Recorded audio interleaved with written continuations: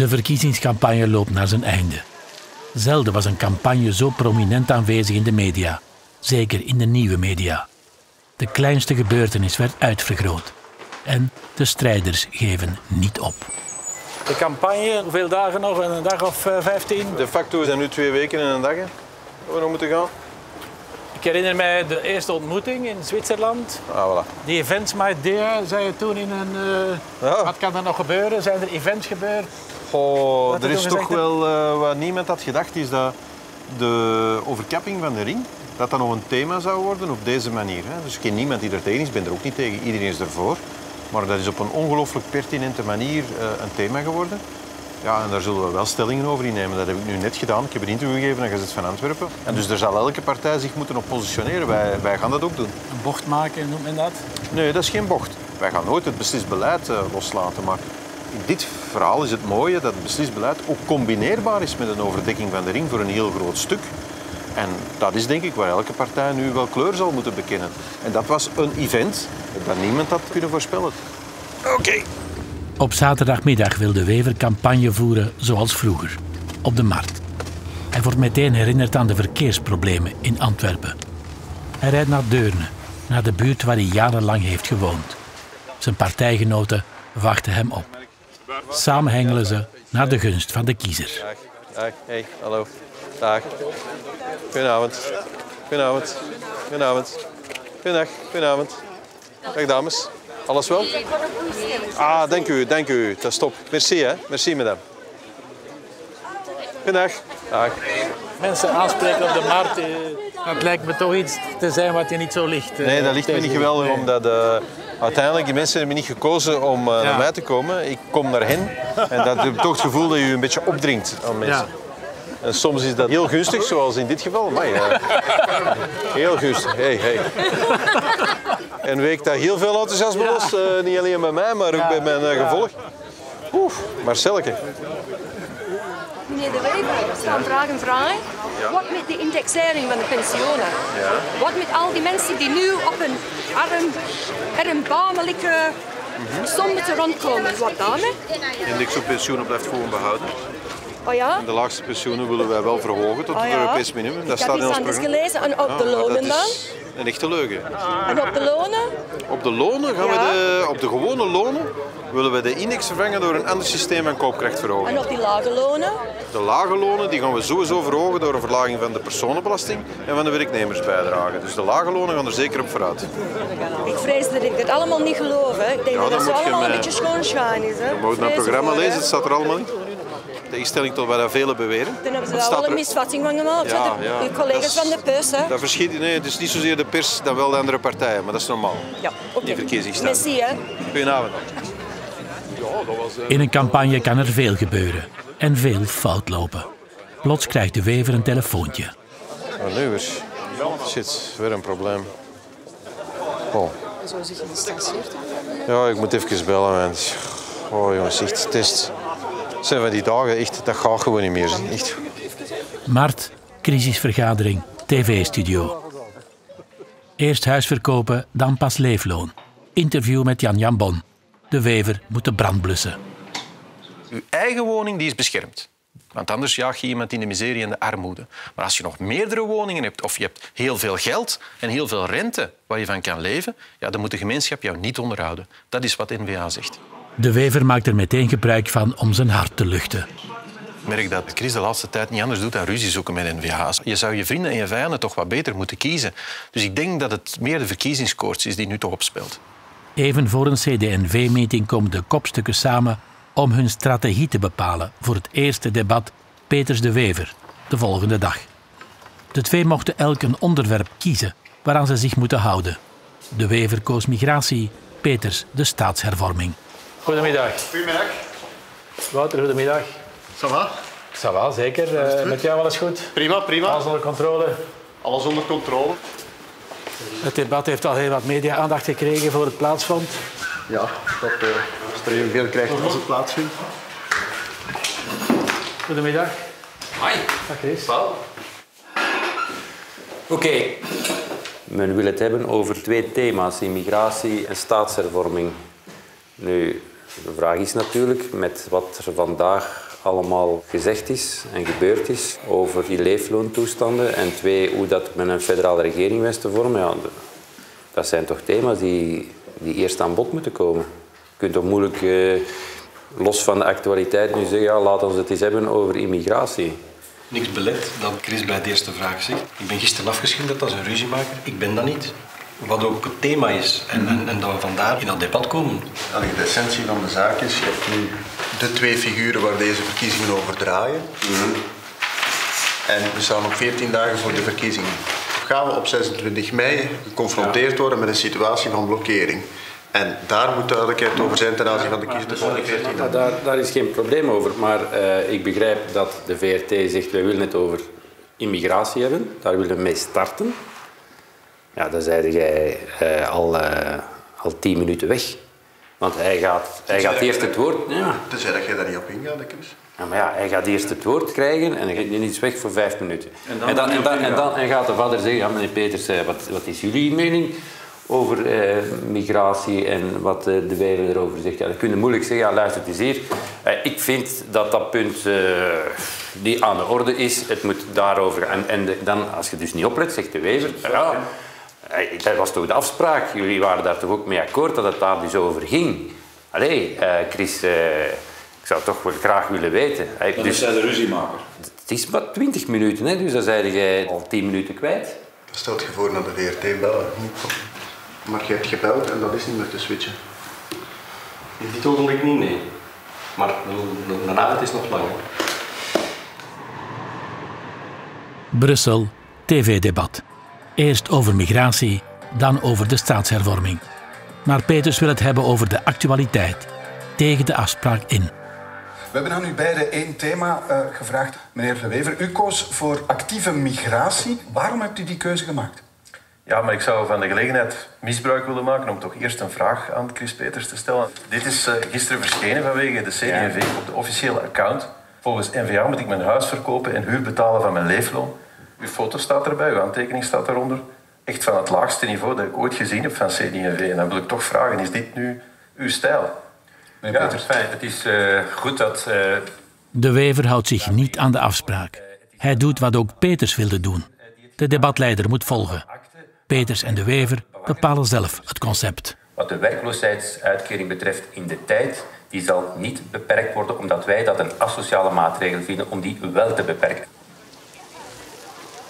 De burgemeester kent geen rust. Nog dezelfde zondagavond vindt er weer een debat Peters de Wever plaats.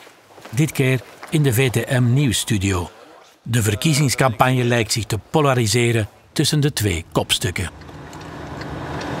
Heb je een bepaalde strategie uitgewerkt voor straks in het debat? Een bepaalde strategie ja, die ik straks ga bewandelen. Je kunt daar nog niet toelichten, die strategie? Wel, eh,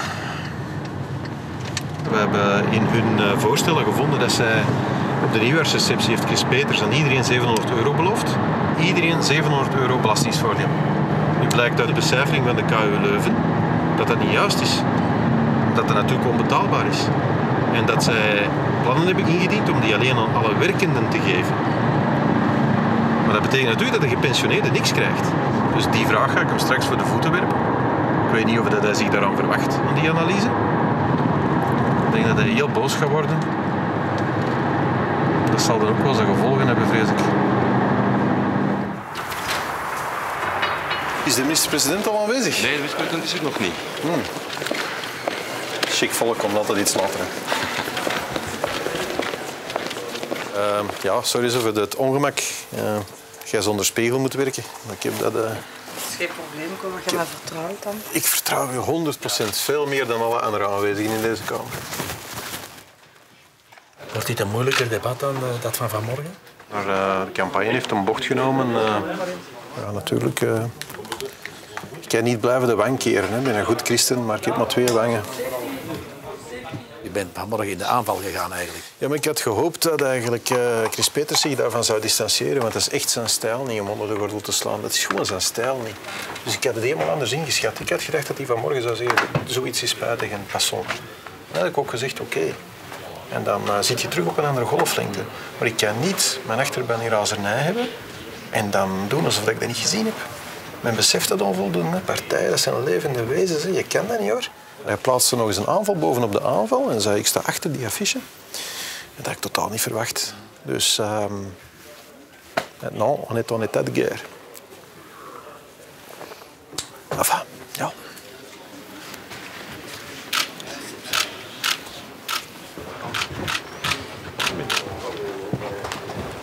Gegroet. Hallo. Maar ik moet eerst uh, Sorry. groeten. Hè? Moet je niet again? Ja, je zei hier al een tijdje. Ja, ik moest er om half zeven zijn, Chris. Dus ik, uh, Hier goed. ik probeer altijd punctueel te zijn. Gegroet. En in de tussentijd wat ontspannen. Zoals jij, hè. Alles nagekeken. Ja. Voilà. Er is eh, nooit eh, een affiche gemaakt eh, die je daar straks hebt laten zien. Welke snowdaard u heeft ingefluisterd dat er een affiche zou gemaakt zijn geweest. En Dat is op de officiële Twitter-account van CD&V verschenen en daarna geretweet door de, door de communicatiedirecteur. Ik schrok, Twitter, ja. ik schrok daar wel van. Maar het is eh, geen affiche. Nee, maar het is wel gepubliceerd uren nadat we het al hadden rechtgezet. Dus het is wel... eh, Ah, nee, nee, nee, nee. nee. Ja, ja, ja, ja, ja, ja, toch wel, toch wel. Dus je hebt eh, onze troepen in staat van razernij gebracht. Razernij? Ja. Oei, oei, oei, oei. Dan moet je toch... razernij, dat is nooit goed.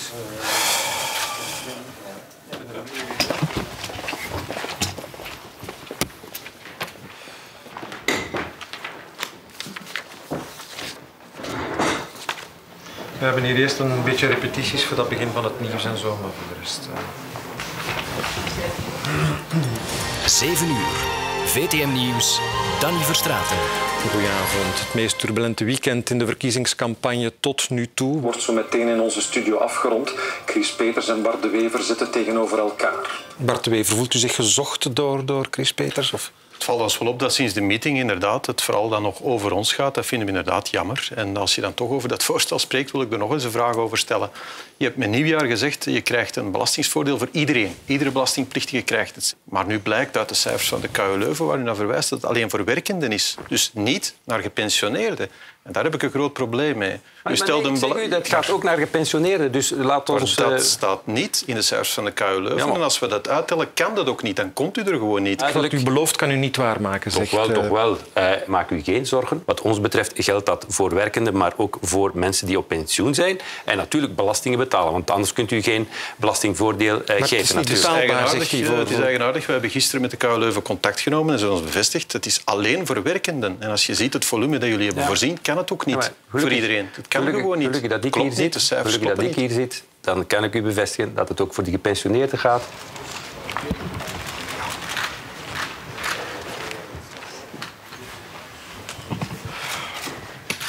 Zo is het nu ook zo dat uh, tegenstellingen, politieke ste- tegenstellingen de persoonlijke tegenstelling uh, versterkt. Uh, Ik hoop van niet. Chris, beïnvloedt nu die tegenstelling, die politieke tegenstelling, jullie vriendschappelijke relatie? Wat mij betreft niet, nee. Enfin, wij zijn eh, professionals, als ik dat zo mag zeggen. Ik respecteer eh, alle andere mensen, zeker Bart, die ik al heel lang ken. Maar eh, dat wil niet zeggen dat het op het scherp van de snee eh, gaat wanneer het over argumenten en eh, debatten gaat. Ik zal u een les geven, politiek voor dummies. Wij vormen geen regeringen, terwijl dat jullie Ja. er allemaal bij staan. Anders, moeten we er meer gaan stemmen. Dat, gebeurt zo niet echt. Nee. Oké. Mogen vragen gesteld We worden? gaan hier nu, nu niet in mekaars armen vallen. Hè. Dat is, eh, Nee, maar de vragen, mogen toch, de vragen mogen toch gesteld worden? Ja, ja, je mag vragen wat je wilt, maar ik waarschuw je gewoon dat je geen antwoord gaat krijgen. Dat bespaart je ook al veel moeite. Hè. Goed, wat de, vraag was in, de, de vraag was over de persoonlijke relatie eigenlijk. Hè? Of dat die beïnvloed wordt. In politiek heb je altijd het risico dat een ideologische tegenstelling een persoonlijke tegenstelling wordt en andersom is dat hetzelfde. Dat persoonlijke tegenstellingen geïdeologiseerd worden. Dat is het eeuwige risico. En op de duur weet niemand nog waar het conflict begon. En dat is al het nadeel van kiesstrijd. Hè? Mensen waar je in principe goed mee samenwerkt, dat zijn plots je ergste vijanden, want die mikken op dezelfde kiezers. Dat is een ijzeren wet. Ik moet me niet veel aantrekken van de PvdA. Die pakken mijn kiezers niet af en ik die van hen niet. Natuurlijk, ja, het gaat over de procenten. De macht gaat over de procenten. En de macht wordt nu verdeeld voor vijf jaar. Dus, Oké. eh, Bart, ja, hou goede man. tot de volgende. Ja. Oké, on y va. Volgens mij hebben die een gigaprobleem. Allee, het staat hier gewoon Zwart op wit. Je ziet hier knal tegenovergesteld. Oké.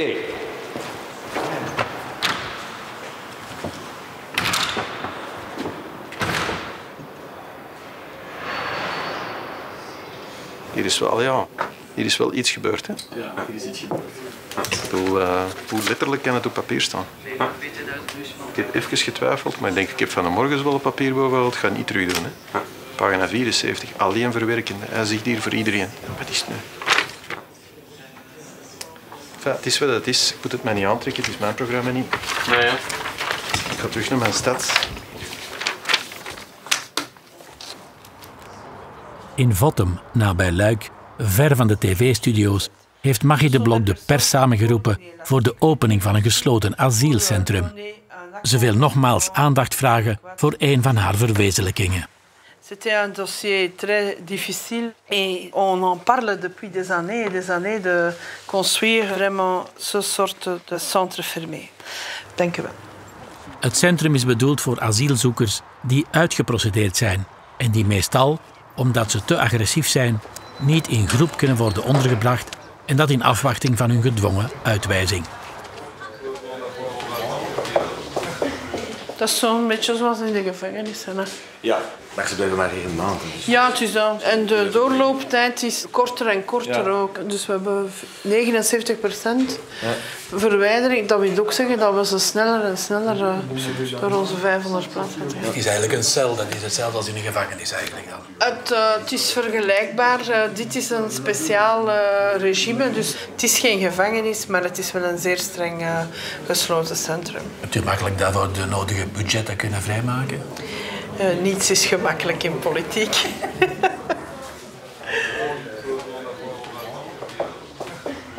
Het is ook een stuk preventief werk, want ze maken soms dat mok om uit het centrum gesmeten te worden. En nu ze gaan weten dat ze eigenlijk dan eh, in een speciaal regime gaan terechtkomen, dus het zal ook preventief werken. In de centra waar ze wel in Ja. groep zitten, zullen Ja. ze waarschijnlijk minder agressie Ja, ja, krijgen want ze daardoor. gaan weten dat ze naar hier kunnen. Dat eh, gaat er een vlucht rond. Hè. Het is natuurlijk... eh, Ja, het is geen vakantiekolonie. Nee, nee. Merci. Hè. Nog eh, geen tien dagen meer na de verkiezingen. Hoort dit in je verkiezingscampagne wat er nu gebeurt? Ah, ik heb vroeger ook altijd als dokter doorgewerkt tot de laatste dag van de campagne. Ik vind dat het niet gaat dat je als verantwoordelijke voor zo'n drie belangrijke domeinen zou de laatste maand niets meer doen. Dus ik werk het af. En dat zal niet zijn tot de 25e mei, maar tot ik mijn departementen kan overdragen. Maar is dit ook niet een beetje campagne wat je nu aan het doen bent? Nee, toch niet, want eh, die mensen... Ik heb daar zo intensief mee samengewerkt en, eh, en dan is het toch ook de bedoeling dat je het werk afmaakt en de kers op de taart van zo'n goed project is natuurlijk het kunnen openen. Communicatie over haar beleid is een van de prioriteiten van Magie de Blok. Ook dat hoort bij campagne voeren.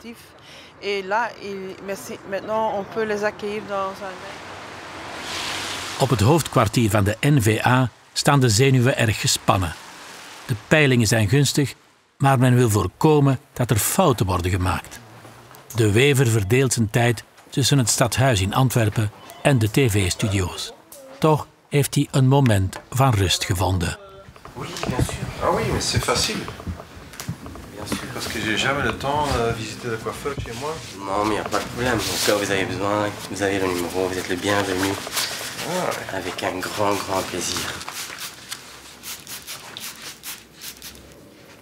Est-ce que Bart est un client difficile Oh, c'est la première, c'est la première fois que C'est la monsieur première fois, mais il n'a pas l'air difficile, donc...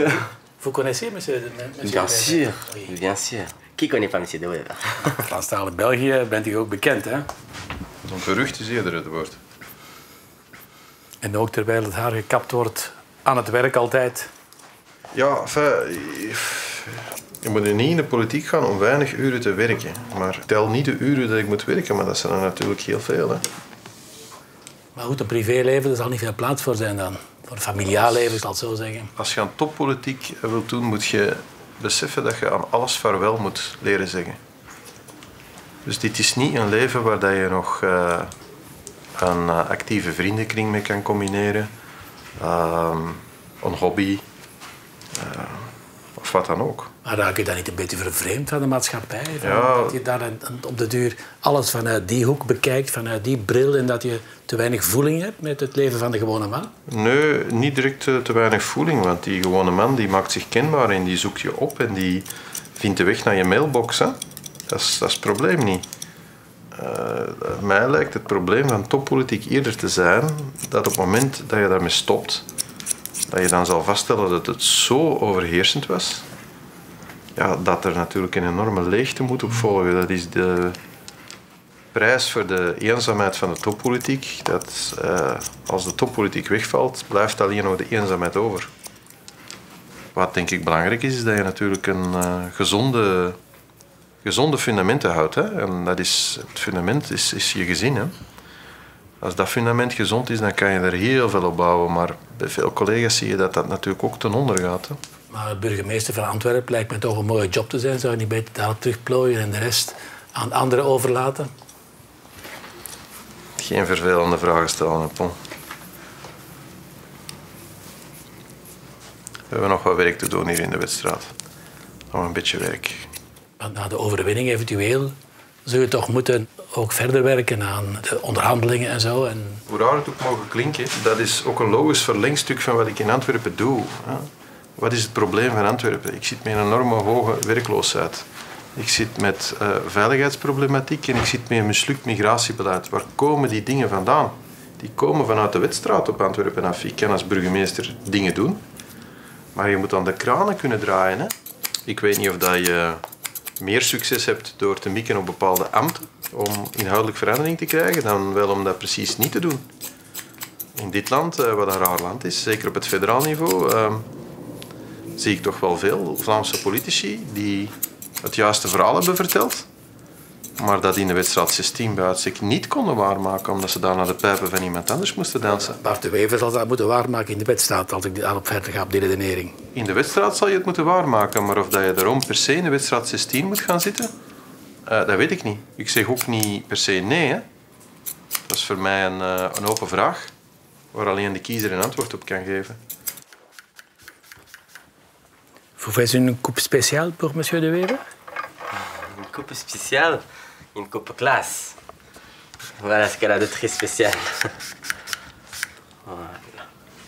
De zes politici die ik drie maanden lang heb gevolgd, wonen niet in dure villa's of kastelen. Het zijn geen superrijken. Alleen al om dat te tonen, vind ik het belangrijk dat ik hen thuis kan bezoeken. Goedemorgen. Johan, goedemorgen. Hoe gaat het? Ça va, ça va. Nog tien dagen. Dank u. Aan het werk al. Ja, ik moet mijn eh, dagelijkse blog doorsturen. Dat doe ik 's morgens. Wat is de inhoud vandaag? Vandaag is eigenlijk een beetje een verslag over gisteren. Wat mij opgevallen is gisteren de huisbezoeken twee thema's die heel sterk extra naar boven komen. Eén, de splitsing voor het land. En ten tweede, pensioenen die belangrijker worden. Hoe lang wil jij nog werken? Ik heb altijd gezegd tot 70. Maar ik ga zien hoe dat, dat lukt. Maar eigenlijk, eh, ik ben nu 59. Ehm, maar ik heb ook heel mijn leven kunnen doen wat ik graag wou. En voor mezelf, ik kan nog tot 65 lesgeven aan de universiteit. Dat wil ik ook graag doen. En oké, we gaan eigenlijk heb ik voor mezelf uitgemaakt, 70, dan moet ik echt stoppen. Van de Lanotte haast zich naar het debat van de regionale zender Focus WTV. Een oude elektriciteitscentrale is ingericht als tv-studio. Sorry dat ik te laat ben, excuseer. Ja. Hallo, goedendag. Oh, het is een koets. hè. Ik kan ook.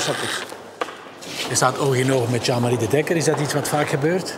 Soms, maar het is een democratisch debat, dus dat moet kunnen. Maar je peilt naar jullie persoonlijke relatie. Ik heb niet de capaciteit voor aan kunnen, dat is een groot voordeel. Jean-Marie, jullie persoonlijke relatie. Sarah aan u, net hetzelfde. Eens kijken omdat uit de basket ik uit de judo. Band loopt, opgepast. En we hebben het eerst en vooral over de horeca. Ja, heren, laten we meteen met een heet hangijzer beginnen, de black box. Die is er verplicht vanaf volgend jaar. De verwitting van de sector, noodzakelijk.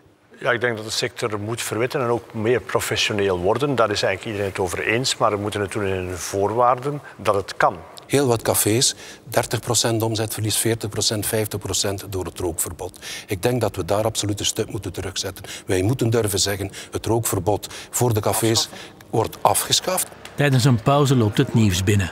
Jean-Luc de Hane is overleden. Is het waar? Oei. Dat is niet verwonderlijk, maar... Net dat een... Ja, het is afgegaan. Ja. Het is een val, blijkbaar. Het is gevallen. Het is gevallen. Ja, gevallen Zo gevallen zijn in Frankrijk. Ja, zeggen dat toch op uh, ding? Een val in Frankrijk. Amai. Je met hem samengewerkt? Ja, ik ben eh, drie jaar en een half vicepremier met hem geweest. Ja, amai.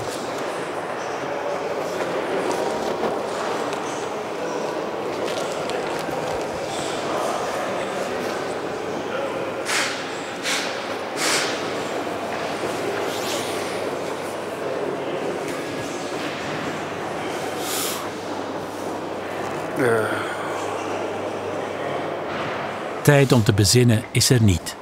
Agenda's moeten worden omgegooid voor nieuwe afspraken. Zeg, het is een groot probleem. Ik moet om kwart na acht in Brussel zijn met het eh, overlijden van de hanen. Dus ja, dat gaan we vanavond niet kunnen afspreken. Oké, tada, bye bye. Ja, Agenda gewijzigd. ah, volledig, ja, ja. Ja, Dat is ook logisch. Je vertrekt naar Brussel voor een eh, gesprek rond de dood van de hanen. Ja, nu eerst de VRT die komt en zo. Nog wat radio's die willen bellen daarover. De tv is dat toch niet het, wat er nu allemaal gebeurt, de hele campagne, als zo iemand overlijdt. Ja, ja, dat is mensen dat je kunt zeggen. Dus je hebt daar toch een gevoel bij en dan, dan gebeurt dit, dat relativeert alles. En ik had er wel wat last mee, moet ik zeggen. Dus eh, als ik dat zo... Dat is ook zelf geëmotioneerd. Hè? Ja, ja, ik had er eigenlijk wel... ben niet eh, de meest emotie, emoties tonende mens in de politiek, maar dat is wel iets anders. Hè. Dat, is toch, het zijn toch zaken die, die je overkomt. Dat gaat niet meer over politiek dan. Hè. Het gaat over de eindigheid van dingen die je doet en van mensen die je kent. Dat is wel iets anders.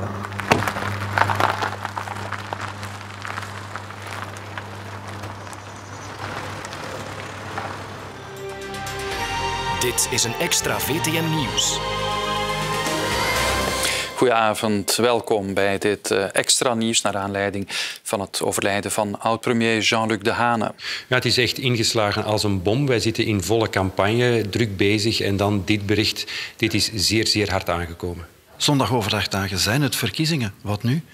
Ja, wij hebben besloten dat uit diep respect voor Jean-Luc Dehane wij dit weekend tot eh, zondagavond de campagne stopzetten. Dat wil zeggen dat geen enkel initiatief eh, hier wordt genomen die betrekking heeft met de campagne. Het is zaterdag 17 mei. Het grote tv-debat wordt afgelast. Dit weekend geen campagne. Chris Peters is thuis.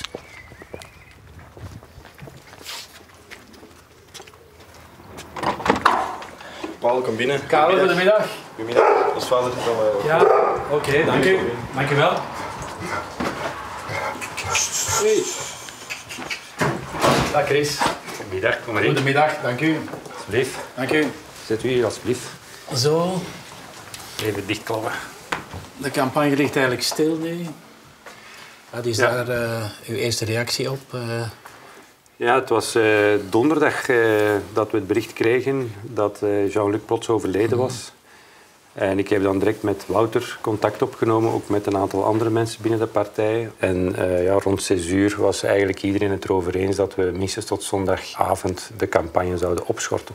Hebben jullie dat eenzijdig beslist of is er overleg gepleegd met andere partijen om te kijken wat gaan jullie doen? Ehm, ik heb bijvoorbeeld zelf Bart de Wever opgebeld. En ik heb gezegd, ja goed, jullie zijn volledig vrij natuurlijk om die debatten alsnog te laten doorgaan, maar wij zullen er niet aan deelnemen. Denkt u dat de campagne van aanschijn zal veranderen? Dat denk ik wel. Mijn aanvoelen is dat de, de bitsigheid en het zeer sterk formuleren, dat dat een beetje gaat bijgestuurd worden.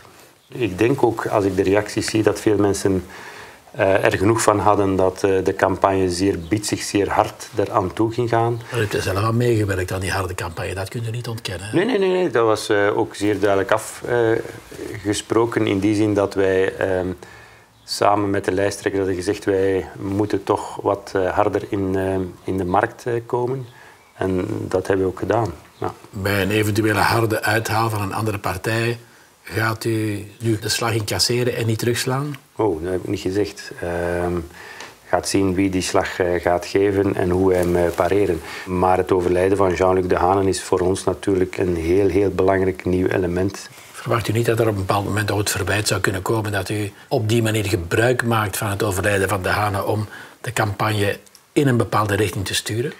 Door ze Nee, te verzachten, wat je misschien anders niet zou gedaan hebben wanneer dat, dat eh, feit niet zou gebeurd zijn.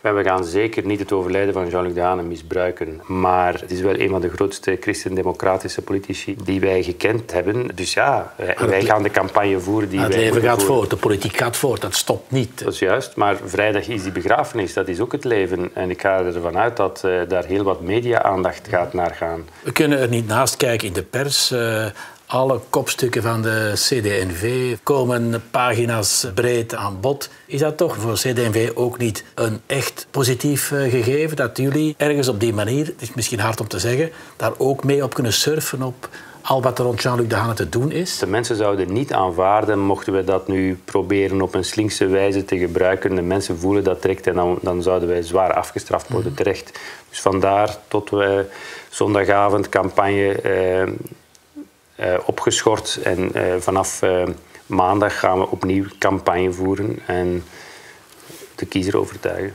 Een verwijzing naar een oude verkiezingsaffiche verschijnt op de CD&V-website. Ook op zondag 18 mei ligt de campagne stil. Bar de Wever, het meest opmerkelijke campagnebeest van deze verkiezingsstrijd, is dus vandaag werkloos.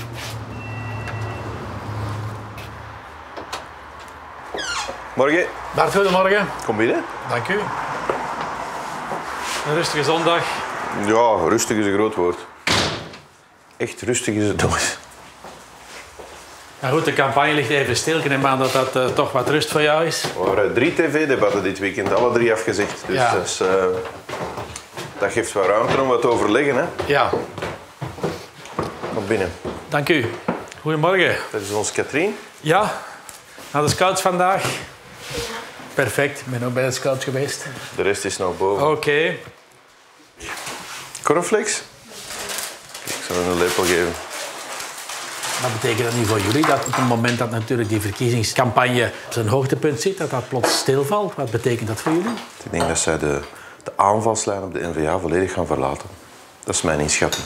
En ze gaan helemaal op staatsmanschap nu beginnen spelen. De staatsmannen, de ex-ministers, staan nu pagina's vol in de kranten. Mhm. Dat is toch iets wat voor de andere partijen, voor jullie in het bijzonder, niet eh, welkom is, neem ik aan. Wij hebben de neiging om alles wat er gebeurt ook te zien als een gamechanger.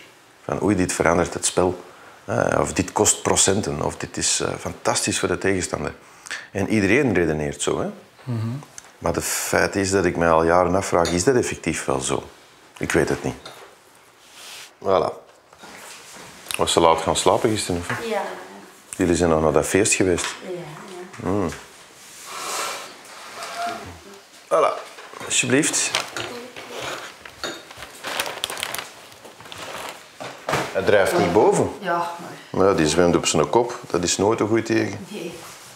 Ja, wat doe ik ermee? Euthanaseren dan wel? Wel als, die dus koud zijn, zal ik het wel oplossen. Hè? Of een vriendje gaan halen. Misschien gaat hij dood omdat Nee, nee, hij nee. Als er nu een vriendje komt, dan gaat dat vriendje ook ziek worden. Ja, nee. Ik denk niet dat dat het probleem is, schatje. Maar nog een nieuwe vis nemen, dat is nu al een tweede. Ja. Speel maar, als je wilt spelen, moet je spelen. Dat is het liefste dat hem doet. Als er mensen in huis zijn, Ja. dan komt hem op zijn trompet spelen. Dus. Dochter speelt piano, de andere viool, oudste gitaar en hij trompet.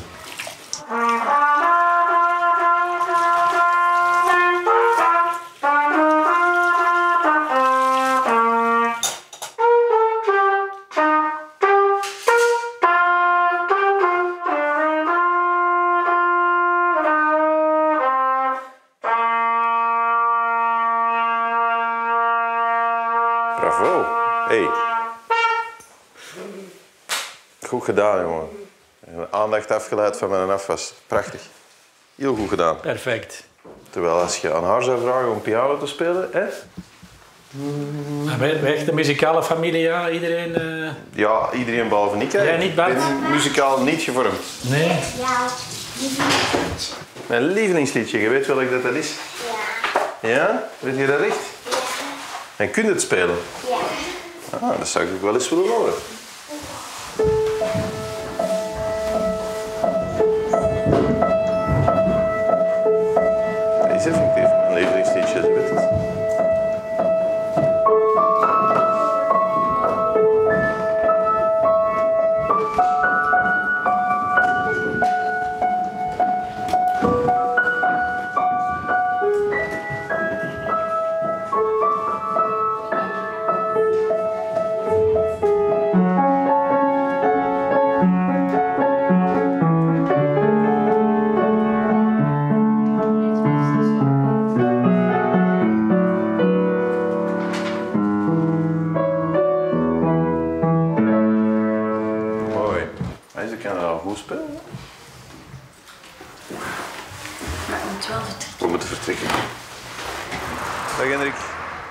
Ochtenddebat, geen radiostudio, maar gewoon een dagje samen met de familie. Maar de politiek staat niet stil. Op zondagmiddag had het Vlaams Belang zijn slotcongres gepland op een feestboot in de Antwerpse haven. Dat wordt niet afgelast. Het is nu zondag, eh, de campagne ligt eigenlijk stil. Is dat voor jullie een handicap dat de campagne stilvalt? Natuurlijk, ik had eh, graag een paar grote debatten met de partijvoorzitters niet gemist zoals ik nu moet doen. We hebben niet zo heel veel toegang tot de media en dat was wel voor ons een kans vlak voor de verkiezingen om in formats als voorzittersdebatten te zitten en dat, is, dat valt nu weg. Maar kunnen we begrijpen dat de campagne wordt stopgezet als gevolg van de dood van Ja, ik heb daar begrip voor. Ja. Een groot stuk van mijn politieke loopbaan was hij mijn premier, zal ik maar zeggen. Was hij mijn tegenstrever. Ik had wel een boon voor zijn menselijke kant, die, eh, die zeer ontwapenend was. We zullen zien, vrijdag wordt hij begraven, eh, wat dat nog gaat geven. Maar toch is de campagne stopgezet als gevolg van zijn overlijden tot zijn laatste snik, zal ik maar zeggen. Heeft hij toch mee een politieke rol gespeeld op die manier? Met een knipoog gezegd, hij heeft ook iets dergelijks meegemaakt met de dioxine, de kippen die hem eigenlijk een mooi slot van zijn loopbaan hebben gekost. En die ook plots een onverwachte omstandigheid waren vlak voor die verkiezingen. Ik denk dat hij daar met een knipoog eh, van boven in de hemel eh, op- wel een beetje naar- aan denkt. zo. In het ruim van de boot moeten de kopstukken de militanten opwarmen voor de laatste spurt. En niemand kan dat beter dan boegbeeld Philip de Winter. 1 op 4 werklozen in ons land zijn allochtonen. Bijna de helft van de gedetineerden in onze gevangenis zijn vreemdelingen. Het probleem is niet de vergrijzing. Het probleem vandaag in ons land en in heel Europa is de verbruining. En beste vrienden, wij moeten het geld halen waar het inderdaad zit. En het zit dat geld bij Mohammed, bij Ahmed en bij Rashid. Wie met wie, wie niet met wie. Wie wil er premier worden? En waarom? En waarom niet? Wie wil er minister-president worden? Arm Vlaanderen. Arm Vlaanderen dat aan zulk een politieke klasse is overgeleverd op een zo beslissend moment. Zij die elkaar bekampen, doen elkaar geen pijn, want nadien moeten ze samen koeken bakken en vlaaien draaien en dus is alles wellicht nu al tot in de puntjes voorbereid. Vlaanderen, voordat gij zondag vijf jaar lang de sleutels van de deur afgeeft aan partijen die u al ooit op een of andere manier hebben bedrogen, steek een stok achter de deur. Dank u wel.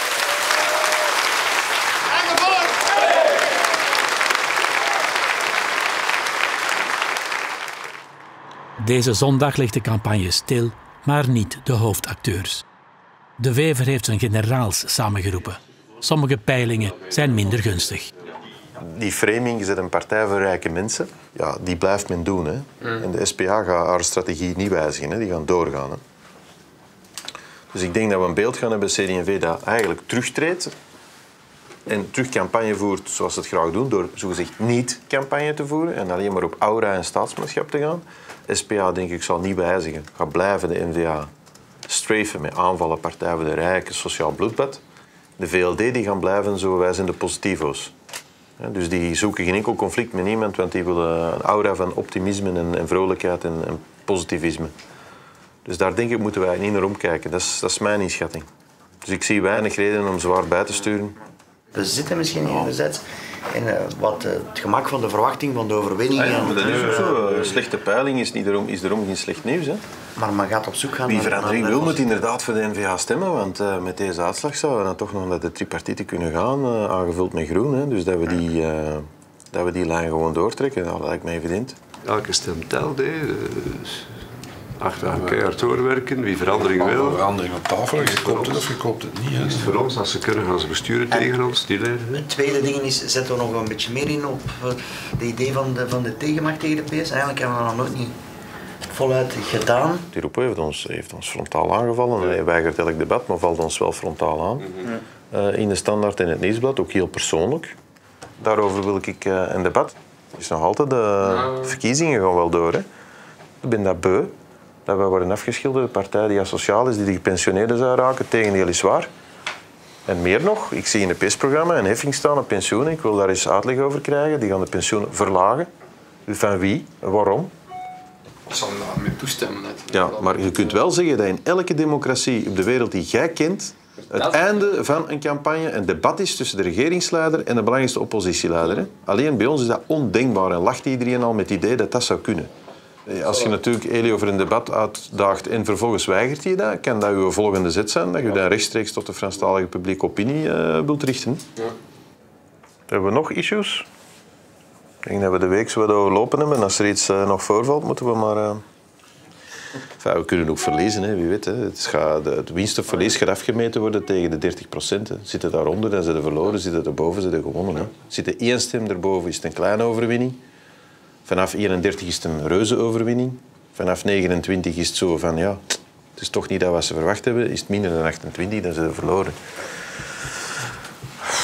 En aangezien dat we dat pas de zondag weten, zou ik liefst hebben dat we er pas de zondag over beginnen praktiseren. En ik ga hier niet beginnen met een A-speech, een B-speech, een C-speech, want...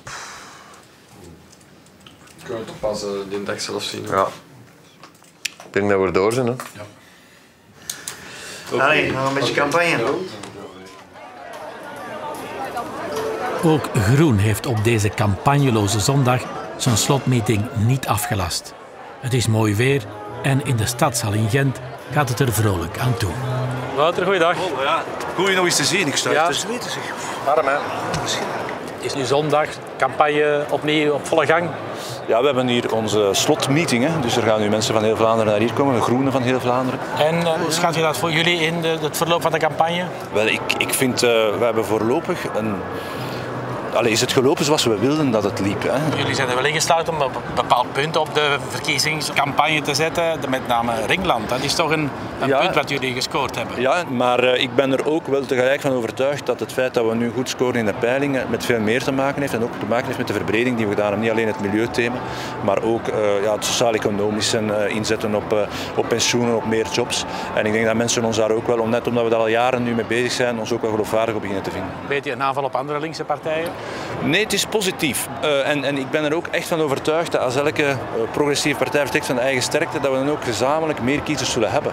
En, en, en mijn stelling is altijd, als je met twee progressieve partijen in een regering zit, kan je ook nog meer wegen dan dat er eentje alleen zit. Dus het is zeker niet bedoeld tegen die andere partijen. En SPA heeft op een gegeven moment gedaan, zo beginnen oproepen van stem niet op groen. En ik was daar eigenlijk een beetje ja, misnoegd over, omdat ik vind dat dat was echt zo'n negatieve manier van benaderen. En, en ik vind dat eh, daar wordt niemand beter. Dit wordt ook een eh, feestelijk evenement, zie ik. Ja, natuurlijk. eh, er zal eh, bier getapt worden en mensen zullen blij zijn. En het is goed weer, dus fantastisch.